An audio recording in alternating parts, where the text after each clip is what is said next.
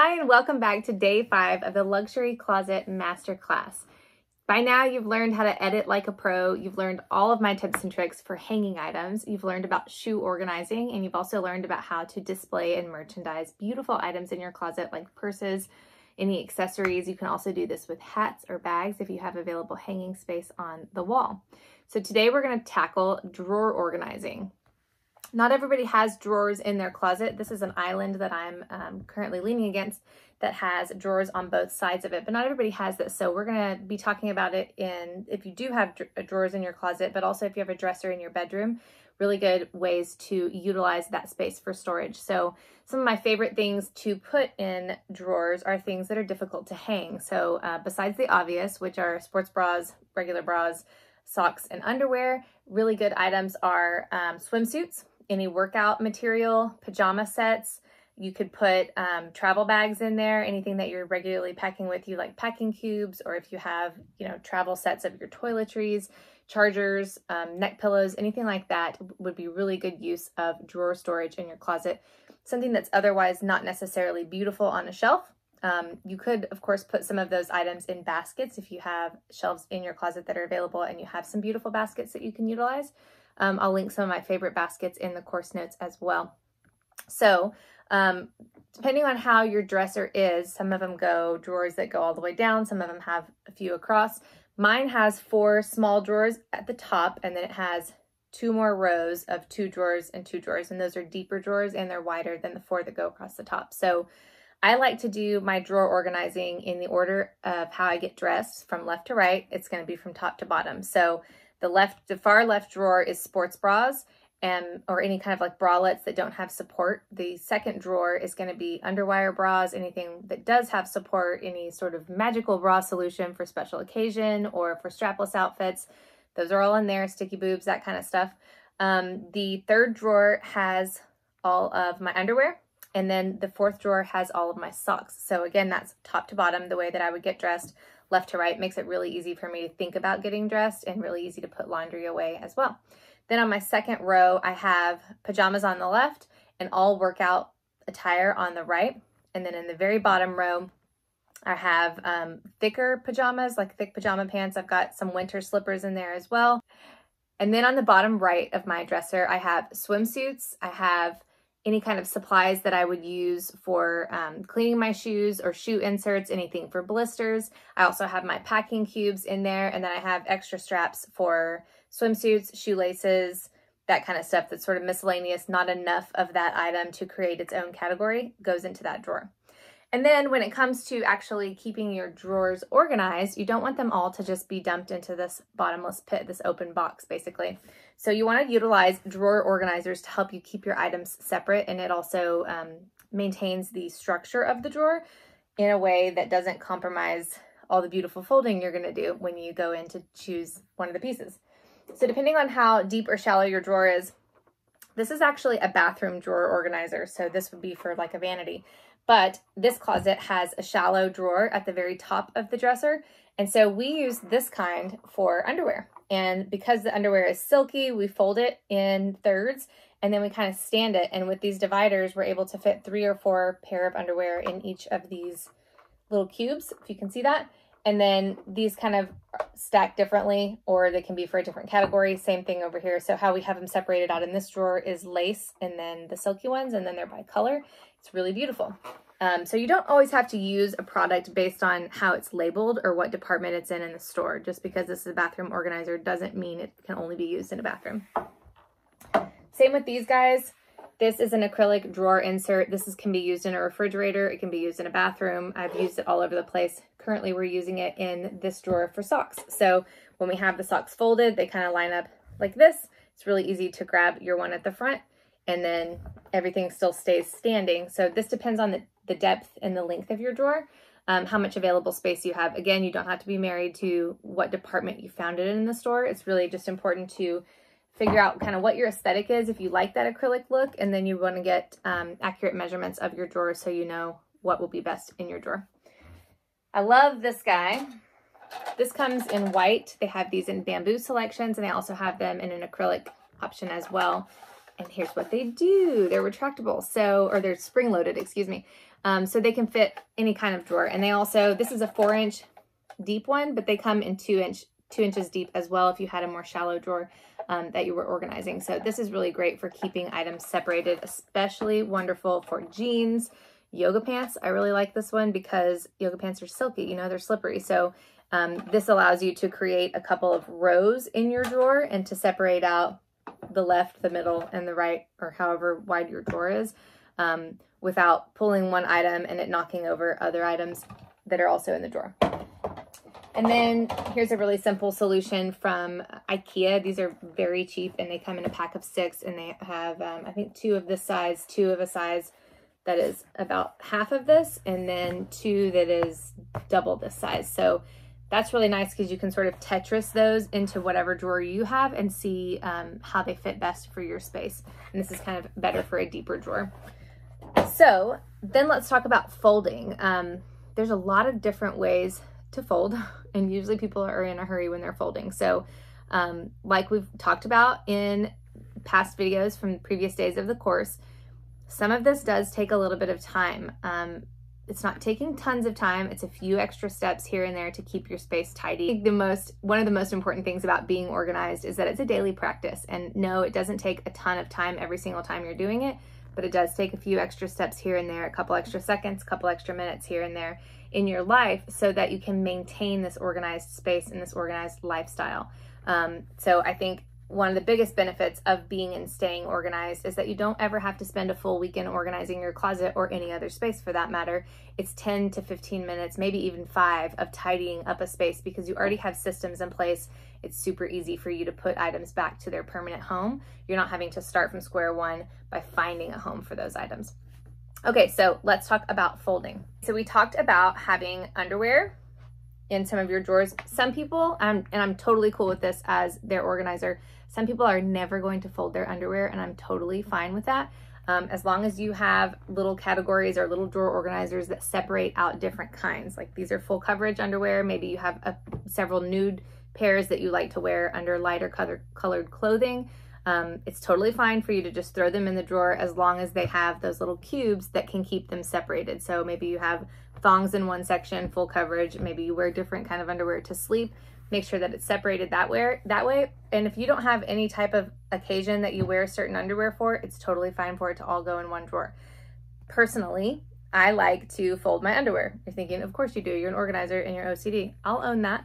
I do fold my underwear. So um here's my underwear on the internet for the world to see. Um what i like to do this i don't know if you can tell because it's black but the front of it is facing the camera Everything starts with a trifold, and this is true for all of the folding that we're gonna do for the most part. Occasionally you'll get a really wacky sweater that's more like a poncho and it has a turtleneck and you have to come up with a really creative fold. But for the most part, you're always going to start with a trifold. So it doesn't matter which side you go with first, but pull over one side, then the other. And then in this case, I'm just gonna fold it in half. So here's how small it gets. Um, these are silky, so it doesn't make sense for me. Um, I don't have a shallow drawer like I showed you, so I'm not going to stack them vertically like this. Um, and it really doesn't make sense for me to try to do that in my drawers because mine are deeper. So I just fold them like this and then I stack them on top of one another. Um, and I have one cube, one cubby that has full coverage and one that is for thongs. So I fold the thongs the same way, if you're wondering. It's a little less material, um, but I do those the same way. And then since they're stacked up, this is probably something you've already done on day one of editing, but if you think about when you're taking your laundry out of your drawer, so you're using your underwear, for example, let's say you have 10 pairs of underwear that are in that drawer and you're always taking from the top, right? Depending on how frequently you do your laundry, if you're doing laundry, folding it, putting it back, there's probably a certain amount of pairs of underwear, or pairs of whatever that are never getting touched because they're here at the bottom of the stack and you're always utilizing and cycling what's here at the top. So really consider if you need those extra pair that are at the bottom. If they're in great condition, of course, they'll be the things that eventually cycle as the other ones get older and then they get rotated out. Um, also really great if you are packing. I always like to bring more underwear than I need just in case. So it's not to say that those items are not useful for you, but that's a really good rule to be thinking about when you're organizing your socks. Underwear, bras, all of those kind of things. I find that I have a lot of sports bras or had a lot of sports bras that were cute but they were not practical for me, especially if I was doing cardio. I really need something to strap it down. Um, so those cute sports bras no longer have space in my drawers because I'm never actually going to wear them and I always reach past them to get to the ones that actually have a lot of support. So that's something to keep in mind when you're um, going through your drawers. The less items you have in there that you're not using, the more likely it is that you're going to be able to maintain those spaces in your drawers. Okay, so that's underwear. Um, for bras, I really like to put them in a drawer and I like to, let's pull this out. Depending on how much space you have, I really like to tuck the straps back and here, clasp, clasp the back of the bra first. Oops. And then you tuck the straps in. So if you were looking at this from above, it's clean like that. So you don't have all the straps hanging out and getting tangled in. And then same thing with the next one. And they kind of are lined up like you would see them in a department store in your drawer. If you don't have that much space for it, you can twist the cup like that and then tuck all the straps underneath it. I'm to do the same thing here and tuck the straps and then it can store in your drawer. They're kind of nestled inside of each other. Um, you may have to get creative with the way that you do that. What you usually don't want to do, depending on your cup size, folding them in half and tucking this in will work for some materials, but other materials, this will actually destroy um, the cup, the padding that shapes it. And then you'll have sort of an uneven surface here at the front of your shirt, which then looks like you're smuggling something under your clothes. Um, and bras are not cheap. Women know that. So be sure that you're uh, protecting the integrity of your garment. And then in the drawer, of course, I like to color code them. So we start with nude, go to tan, then to black. Okay, let's talk about camis, something that girls have a lot of. This would work also with um, any workout tops. Okay, I like the top of the garment to be facing up, and then you're going to start with that trifold. Doesn't matter which side you start with. I'm going to have the straps of it are at the top. They're going to be what gets tucked inside so that we have clean edges all around. So I'm just going to start by doing a small fold that just tucks those inside. And then from the rest of the material, I'm going to fold four times. I'm going to fold once here, once on this side, so here's where that opens. It's a little hard to see with black. And then the bottom of the shirt is kind of creating this little envelope. And I'm going to tuck the top into the bottom. So you have this perfect little square. You can kind of toss it. If you're folding in the living room and putting everything back in the basket and then carrying it to your bedroom, it doesn't really matter if it falls over because it stays folded, which is awesome. Also allows you to stack it by standing it up in your drawer this was the organizer you were using and you had a whole row of tank tops or camis, this would be a beautiful display of colors. If you had Roy G. Biv or maybe you just wear white and black, something like this allows it to stand up without falling over in your drawer. And any of those options that I showed you would work for that. So you can also do that with workout tops um, and you can do that with pajamas. So I want to show you, pajamas are usually silky this is a set and I really like to do pajamas how I do my sheets. Um, I like to put the fitted sheet inside of the flat sheet and then wrap it all together so that it's it's um, easy to, to store, but it's also easy to take down and take it to the bedroom that you're going to use it for because you're not likely going to use one or the other without both of them. So same goes with pajama sets. You could do this with a t-shirt as well. This is going to be the same fold. With this kind of a shirt, I want the front of it to be facing down. And it's just preference. It would work the same way if you did it the opposite way, but here's why I'll show you. Start with the trifold. So the front of your shirt is actually facing out there. And then again, you can do this by three folds or you can do this with four. I like to do four because I like that it's tighter. We're here, and then I'm gonna open this envelope and tuck the shirt there. Doesn't have to be gorgeous. You just want to get it tucked. Okay, so we're going to put this aside for a minute. That's the top of the pajama set. And then we have some pants. Here's how you're going to do the pants. You're going to fold the, this is the front, fold those in Let's get up on the counter. From here, fold it in half. And you always want to, well, I do. I say it like it's law. You always want to tuck this little crotch portion right there. Pull it forward. So you fold it in half and then from here, because this is the length of these pants, um, this is going to go here and I think we have space to do three, three folds. So it would be into thirds. Here's what the finished product will look like. So before we do that, we're going to put the shirt in the middle and then you want to do the waistband side first because that's what's creating that envelope for you to tuck into. And then the rest of the pants are on this side. And they're going to tuck in there. So you have your whole pajama set is wrapped and folded together. So you can do that with smaller sets that are kind of camis and those little shorts. Again, because they're silky and you want them to stay together, it's just really easy to grab the whole set. Also makes packing a breeze. Let's talk about yoga pants. You're going to fold them very similar to how we just did the pajama pants. Here's that little, let's see if you can see that here. Here's the part where the pants come together. I love to tuck that in because it gives you a clean line. So I'm going to show you what it looks like both ways. I'm not tucking it on this one. Here's what it looks like. It has this little part that sticks out, right? Let's fold it again by tucking that part in. And what we did here was fold the pants. This is the front facing. Fold those parts into each other.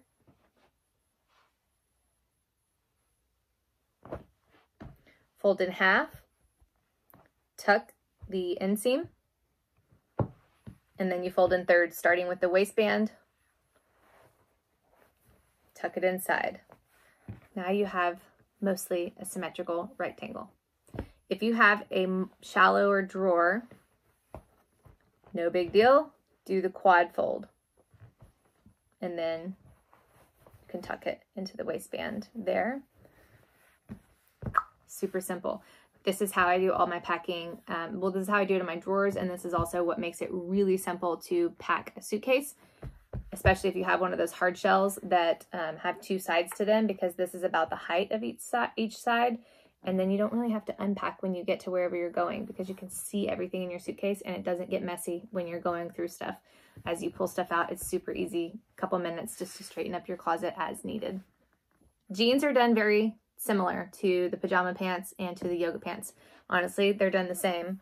The only difference is that you have some pockets to be aware of. So let's do a hot pink pair because why not?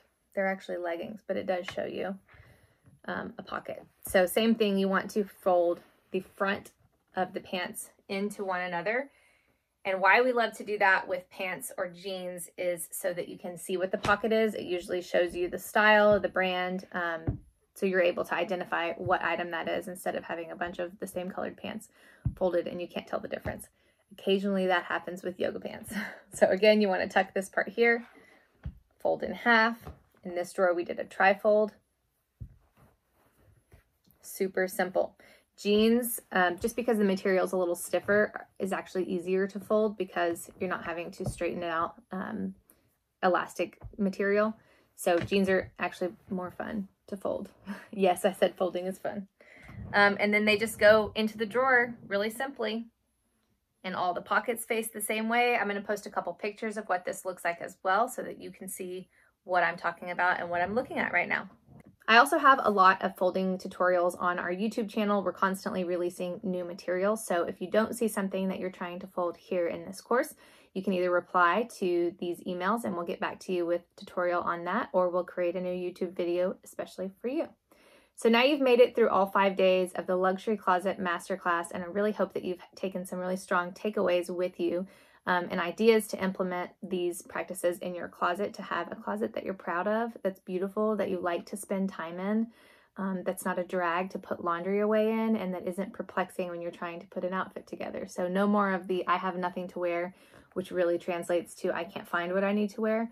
Um, you're not going to be holding on to stuff that doesn't fit, things that are ripped or permanently stained, things that don't display you as your best self. You're going to have things organized by category or by color or by style, occasion, any of that stuff. It's going to be super easy for you to access what you have, it's also going to be really easy for you to identify what you don't have. Let's say you have tons of black tank tops that you wear, you have a lot of white, and you realize, hey, I don't have any cream. And going through this practice, you were able to identify that that's something that you need. So it allows you to shop more strategically instead of buying something that you think you may or may not have. Um, and it creates that boutique that you that boutique look that you are seeking in your closet so that you can feel proud of your space and actually walk away with tools to maintain it and keep it that way. Hope you've had fun. Really appreciate you joining us. Please, please, please reply back with any questions. And we really encourage you to take photos of your space as you're working through. Um, tag it on Instagram to our Instagram account of at misplaced organizing. We would love to feature you on our page or help you if you get stuck at any point along the way. Thanks again for taking our course. We cannot wait to see your finished spaces.